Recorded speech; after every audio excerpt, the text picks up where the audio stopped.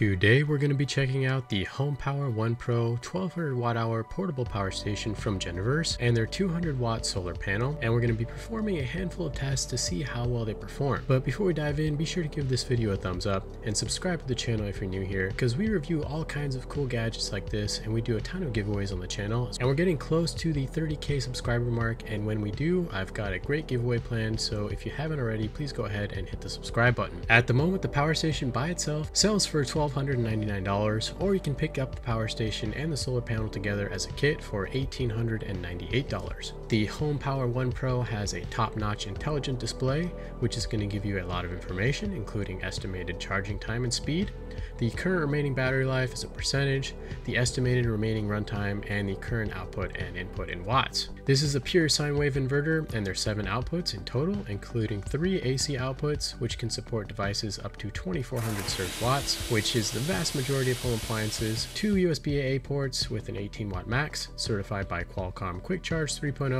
and two PD100 USB-C ports with a 100 watt max. There's also a cool white emergency light bar, which has three different lighting modes, including a low mode with a 3 watt output, a high mode with a 7 watt output, and an SOS mode as well. It also comes with one of the nicest cable organization pouches that I've seen from any portable power station, and inside you'll get this AC charging cable and a car charging cable. Now we're going to jump into some testing to see if the Home Power One Pro can continuously run at the 1200 watt max output that it claims. We're going to plug in a bunch of different devices and try to push this power station to its limits. There was some times when the power station could sustain outputs over 1300 watts for a few minutes before the power station would shut off. This fully filled electric kettle would run for a few minutes and heat up quite a bit, but ultimately it would shut off before the water had a chance to come to a full boil. I did find the max sweet spot we could consistently run at, which I discovered by plugging in a variety of box fans, blower fans, and a small hair dryer, and it was right around 1240 watts, which was slightly higher than the 1200 watts stated. I did try running closer to the 1260 to 1280 range, and it did shut off after a few minutes. Next, we're going to test the true watt hour capacity of this power station and see how close it comes to the 1200 watt hour stated. And this is a lithium iron phosphate battery rated for over 3000 charge cycles.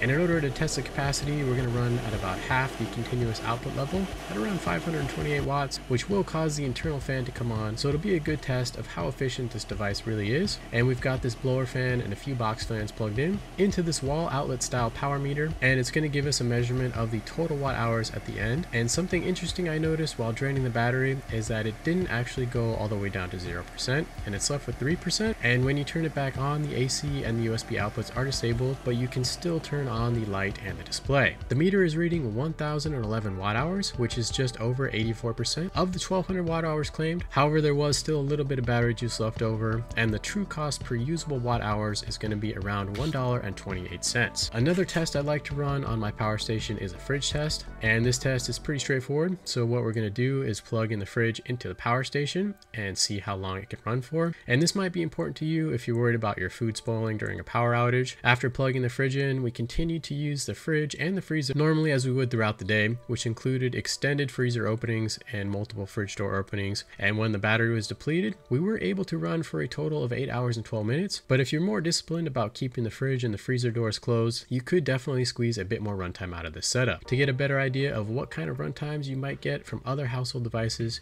you can check out this chart that Geneverse put together, and they did a great job breaking this down into different kitchen, bedroom, living room, and home office related devices. Now that we're down to a 3% charge, we're going to plug in the power station to the wall outlet and see how long it takes to charge up. On the back of the power station, there's a port cover and there's a pair of DC inputs and also an AC input, which is what we're going to be using for this test. And you can see on the display that the charging speed is actually incredibly fast, close to 830 watts, and it's giving us a 1.7 hour estimated charging time. And typically speaking, lithium iron phosphate batteries are significantly quicker to charge compared to lithium ion batteries. Anyways, I plugged it in at 1237 and it was fully charged by 2.28 p.m. So the total charge time was 1 hour and 51 minutes, which is very close to the estimated time. And considering the size of the battery, I was really impressed with these results. The last test we're going to do on the power station is to see if this device has a UPS mode and whether or not it can be used as a backup battery for electronics. And right now this power station is plugged into the wall outlet and we've got a nice laptop here that we've taken the battery out and we're able to plug it in and it turns on just fine. Now that it's plugged in, we're gonna unplug the charger that's connected to the wall outlet and when we do, we'll see if the computer dies or not. And as you can see, the laptop did remain on, so this device would work reasonably well as a battery backup for basic electronic devices. About a week ago, I compared this power station to a handful of other power stations, and if you want to see that video, I'll post a link to that down below. And the most comparable power station that I tested would be BioLite's 1500. The Geneverse power station was slightly more affordable from a cost per watt hour perspective and significantly faster at charging, but one downside to the Geneverse power station is that it is quite larger and heavier, which you might not expect because it does have a lower watt hour capacity compared to BioLite's power station, which is lithium ion based. And the lithium iron phosphate batteries are heavier and bulkier compared to lithium ion, so there is a bit of a trade-off to this battery tech, and the Geneverse power station is less portable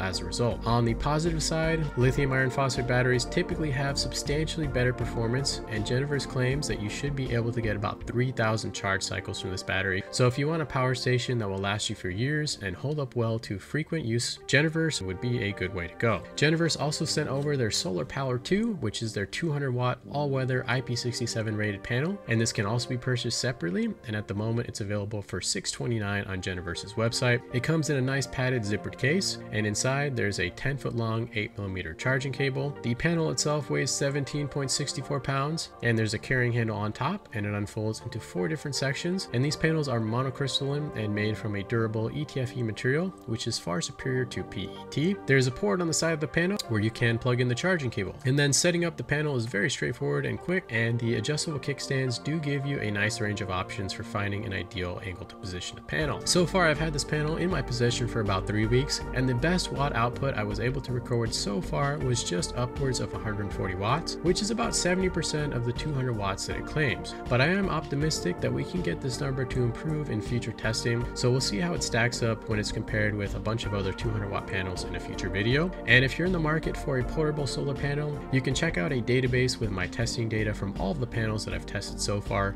ranging from 5 watts all the way up to 200 watts. And as more panels are tested, all of that data will be updated here, so be sure to check back in from time to time when you're ready to purchase a new panel. Up to 4 panels can be combined for ultra fast charging speeds, so in theory this power station could be charged in roughly the same amount of time as being plugged into the wall outlet in under 2 hours. It would be great to hear your thoughts on this power station and solar panel down in the comments below, and if you want to pick one up and help support my work, you can find links down in the description below.